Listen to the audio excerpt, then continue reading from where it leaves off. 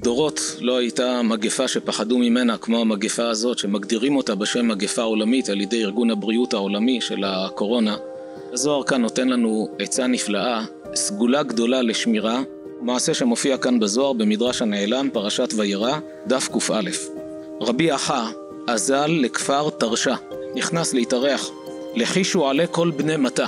כל בני המקום היו מתלחשים בינם לבין עצמם. אמרו כבר שבעה ימים ששרוי מוות בעיר שלהם. פרצה מגפה באותו כפר. אמר להם בואו נלך לבית הכנסת, נבקש רחמים מלפני בורא עולם.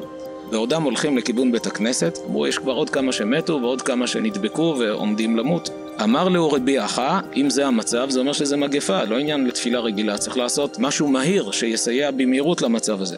הפרישו מנחון ארבעין בני נשה, תפרישו מכם ארבעים איש מאותם שהם יותר יראי שמיים, עוסקים בתורה, אברכים, צדיקים, תלמידי חכמים.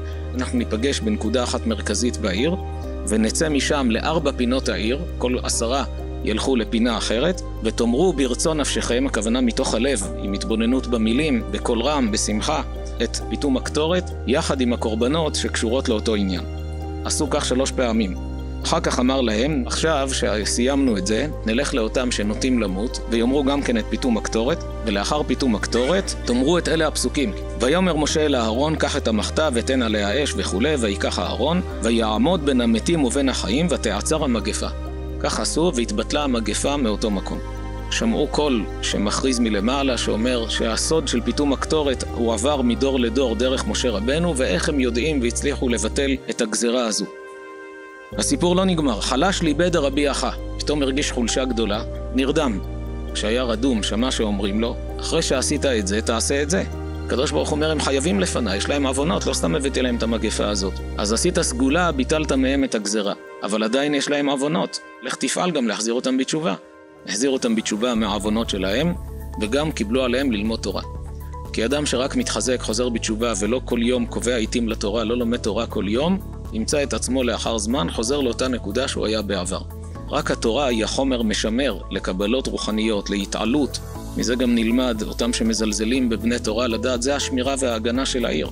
הרב דסלר פעם אמר, בסדום הייתה גזרה להפוך את סדום ועמורה. עד היום מי שהולך שם לים המלח, אתה רואה ההרים חתוכים ממש, לא טבעי. בהתחלה המקום שם היה מוריק, היה מישור, היה שפע של מים, כולם משקה.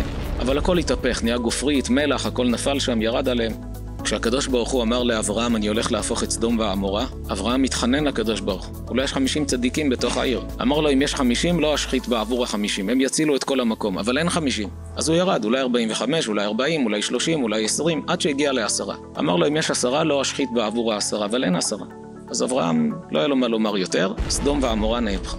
אומר הרב דסלר, מה היה קורה אם באמת היה איזה קרוון בסוף העיר, והיה שם כולל.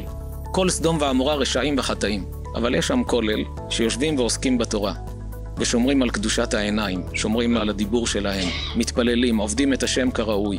וכל ארבעת הערים, סדום ועמורה, אדמה וצבועים, לא היו עוברים את המהפכה, עד היום היה שם הכל מישור מוריק, בזכות אותם עשרה. אומר הרב דסלר, הרי האופנוענים שם של סדום, היו עוברים מהאופנוע שלהם ליד הקרוון, מציצים, ואומרים הפרזיטים האלה, מה הם תורמים למדינה? אתה חי בזכותם, כל העיר לא התהפכה בזכותם.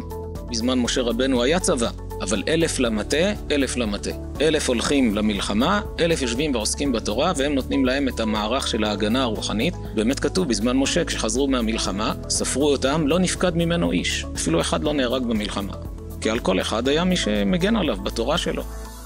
בזמן הזה, כמה חשוב שבכל עיר ייקחו 40 אברכים, תלמידי חכמים, בני תורה, יראי שמיים, צדיקים, יכולים לצאת במיניבוסים לארבעת הפינות של העיר, נקודות שיסכמו מראש, יגידו, כמו שאומר כאן הזוהר, את פיתום הקטורת עם מעשה הקורבנות, רק שילמדו לפני כן, שיבינו מה הם אומרים, ויעשו את זה שלוש פעמים, כמו שאומר כאן הזוהר, ובעזרת השם שנזכה שהמגפה תיעצר, שהשם ייתן שמירה והגנה לעם ישראל ולכל האנושות, שנזכה במהרה לגאולה שלמה, אמן ואמן.